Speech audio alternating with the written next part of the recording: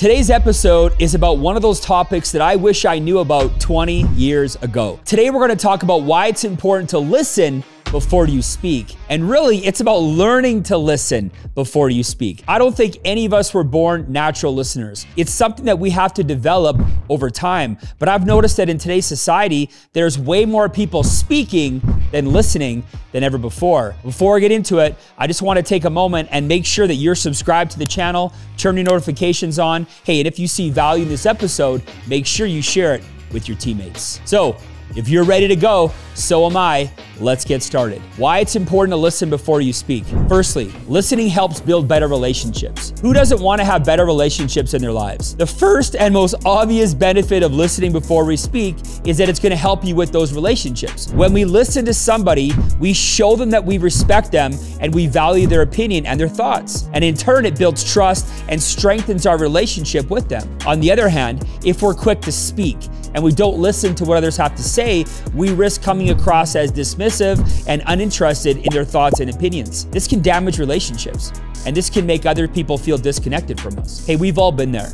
We've all been in a place where we've been waiting for somebody else to finish their sentence so we could hop in and give them our opinion. Unfortunately, this does not leave a great impression with the person that we're talking to. It has a more adverse effect than anything else that we could be doing. Secondly, listening helps us learn and grow. The second benefit of listening before we speak is that it helps us learn and develop growth. When we listen to others, we expose ourselves to new ideas, new perspectives, experiences that we may not have considered before. This can broaden our horizons and help us become more open minded. Also, when we listen to others, we have the opportunity to learn from their experiences and their mistakes. This can help us avoid making those same mistakes and make better decisions in the future. That's so powerful. After all, life is all about learning, and any opportunity that we can take to learn and grow, we should be all over that. Listening is a great and easy way to do that. Thirdly, listening can help us resolve conflicts. The third benefit of listening before we speak is that it can help us overcome day to day and business conflicts. In business and in life, it's just a matter of time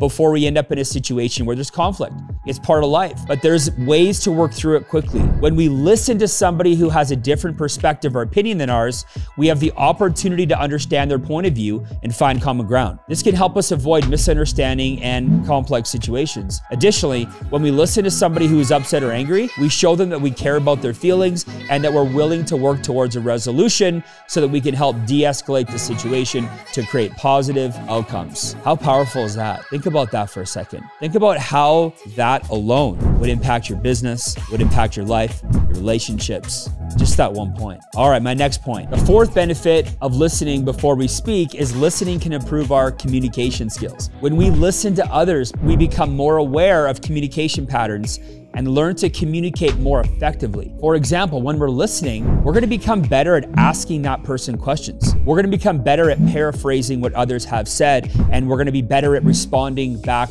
feedback. These skills can help us become better communicators in all aspects of our lives, from professional relationships to professional settings. For me, listening has dramatically improved my communication skills. And if you think about it, communication skills are important to be a father, a brother, a husband, a business leader. The flip side of this is poor communication skills can tear down an environment and a situation way faster than it was built up. So how can we improve our listening skills? Now that we've discussed the benefits of listening before we speak, let's talk about how we can actually improve our listening skills. So take out your pen and paper. Here's some tips that I'm gonna give you that might help you. Firstly, pay attention. The first step to becoming a good listener is to pay attention. When somebody is speaking, try and focus on what they're saying and avoid distractions. This means putting away your phone, turning off the TV, and making eye contact with the speaker. Next is don't interrupt. Interrupting somebody while they're speaking could be disrespectful and it's gonna disrupt the flow of the conversation. Instead, wait for them to finish speaking before you respond with a comment and wait for an appropriate time to bring it up. Next, ask questions. Asking questions is a great way to show that you're listening and interested with what the speaker has to say. Ask open-ended questions to encourage the speaker to elaborate on their thoughts. Next, paraphrase. Paraphrasing what the speaker is saying is a great way to show that you're listening to ensure that you've actually understood the message. And what I mean by that is repeat back what they've said in your own words to make sure that you've understood the message correctly. Next is show empathy. When somebody is sharing their feelings or experiences, it's important to show empathy. This means acknowledging their emotions and showing that you care about their well being. You can do this by making eye contact, using affirmation statements such as I understand, or that sounds tough, or I, I see what you're going through. Next is practice active listening. Active listening is a technique that involves fully engaging with the speaker and paying attention to both verbal and nonverbal cues. This is easier in person, but it can be learned online, virtual over Zoom as well. This means listening for tone of voice, facial expressions, body language. Try to put yourself in the speaker's shoes and imagine how they might be feeling. Next is reflect on your own biases. We all have biases and preconceptions that could influence how we perceive others.